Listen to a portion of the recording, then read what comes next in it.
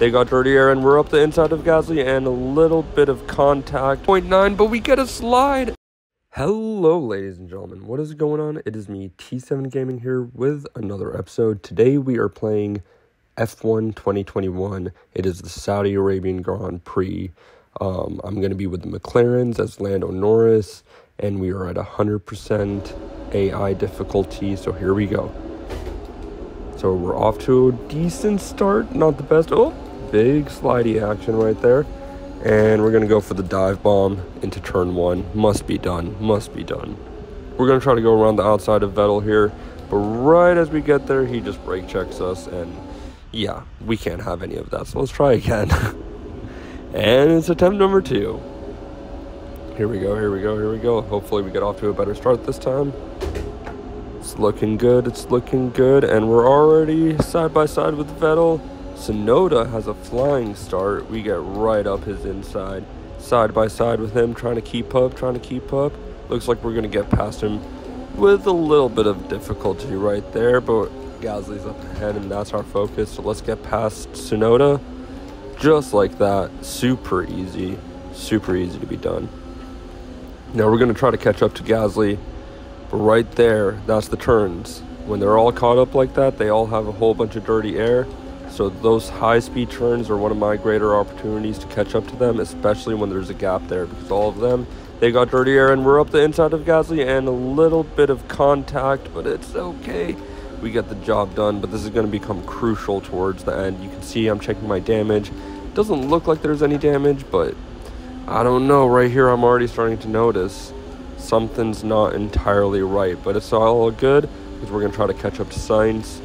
And here we are at the end of lap two, and we are right up the back of Carlos Sainz. We're going to try to use some overtake here and try to get him down the inside, maybe. Maybe. There we go. Right there, but I got scared last second. I thought he was going to turn in on me, but he gave me the space, so I kind of missed opportunity, but it's all good. We're going to use a little bit of overtake turn off real quick, get side by side with him, but it's just not enough, so we're going to turn overtake right back on. now we're going to make easy work of it, but just a little bit deep, a little bit late on the brakes. It's all good though. Now, time to catch up to our teammate, which, as you'll see, will prove to be a difficult challenge. Over here, we see Ricciardo pass Alonso on lap four. Now we're on lap five and I'm 0.8 seconds away from Alonso, just trying to catch up. Now we're at lap 7. This is what the middle of the race just looked like for me. And Sainz is on my behind, and I am glad that he's pitting right there. You can see that he went into the pits right there. Makes my job a little bit easier, no pressure from behind, can focus on what's ahead. I'm trying to catch Alonso. You can see I'm super late on the brakes, barely making the turns, pushing really hard. I'm confident with my pace. You can see I'm green there and just really pushing hard, really pushing hard. There's Jeff telling me that I'm increasing the gap behind. That's good news. Yeah, you can just see that these turns I'm just like struggling. The steering angle, this the amount of steering angle that I'm putting in is just ridiculous. Just exceeding track limits, you know, just trying my best to keep it together.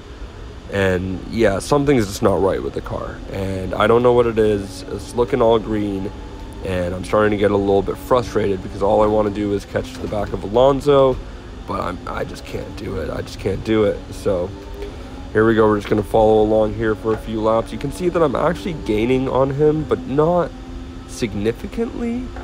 And yeah, we're just struggling, man. We're out of ERS deployment. You know, we're towards the end of our tire life.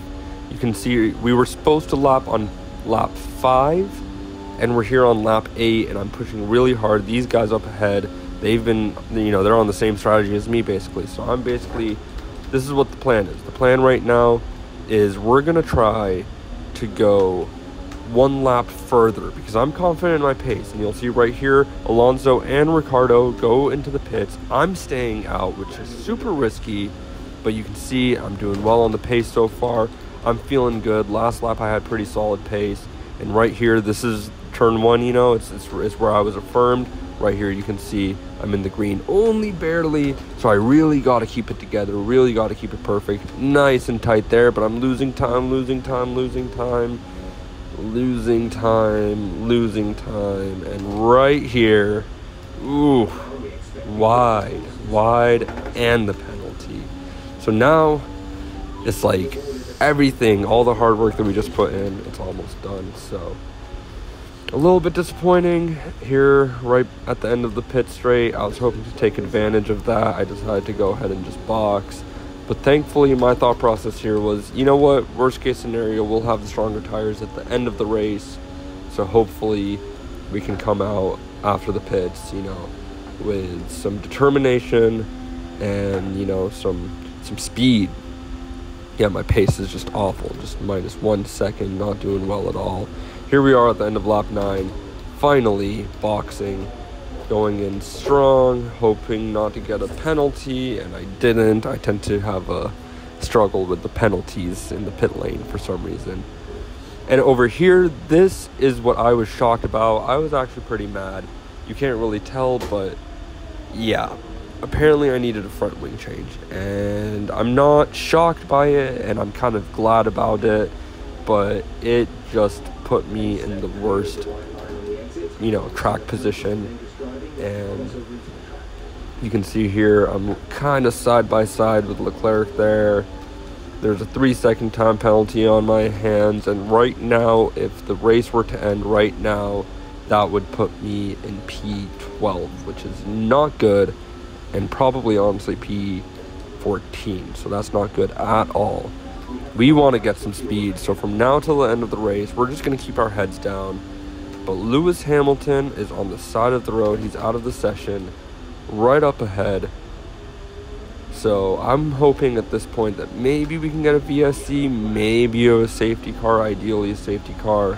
But, you know, by now we would probably have seen that. So it's looking like we're going to stay green flag conditions. Just got to safely remove Lewis Hamilton's car. Now we're at the end of lap 12, starting our final lap. As you can see, the gap to Leclerc is two seconds. Let's see if we can't make it three seconds on the final lap of the Saudi Arabian Grand Prix. Here we go into turn one. Let's see how we're doing. It's not looking too great, but we're hanging on there. These tires, they're pretty fresh, only four laps old, five, you know, three laps old. Let's see how we're doing on this turn. We're pushing, we're pushing, we're pushing. You can see that we're flying, but it's just not quite enough right now. We cut the corner there, helps us out with our time, but not so great, especially when we already have a penalty. We're in the green now with our with our lap times, and we are pushing, we are pushing, we are pushing, but it's not really doing too much, but we're 2.5 up almost, 2.4, 2.5. And we are pushing, we are pushing, so that's half a second. Let's see if in the next two sectors we can't get another half seconds, but we're drawing back 2.3, 2.4, 2.5, so that's good. Maybe 2.6, can we get 2.6? But no, the straightaway is just not going to give us what we need. We're at the end of Sector 2. Max Verstappen has won the Grand Prix, so the race is basically over. But we're still pushing. We're still trying to get it. We're at 2.7 right now. We're almost there. Let's see what we can do on this turn. Let's see, let's see, let's see.